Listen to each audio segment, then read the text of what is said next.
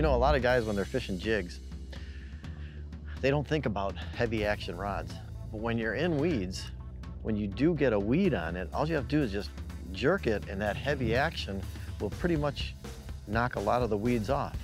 This happens to be a medium heavy elite, Fenwick elite rod, 7-1, and it's really nice to shake off those weeds. What I'm doing is I'm just popping it right through the weeds. When it gets caught up, reel down, give it a quick jerk, and those weeds come right off the jig. There's a fish. I'm Larry Ladowski, and that's another Midwest Outdoors tip.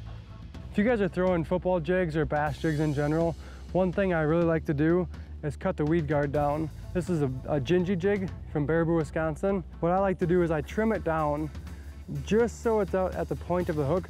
So when a fish bites it, it's going right down below the hook. Then you get a better hookup. Otherwise, without cutting it, if a fish bites this, it's like gonna be hitting the back of their mouth and they can feel that more. So you're probably gonna lose more fish. I like to cut it right at the point of the hook. It goes right down, fish comes in the boat. I'm Casey Knaup. That's a tip from Midwest Outdoors.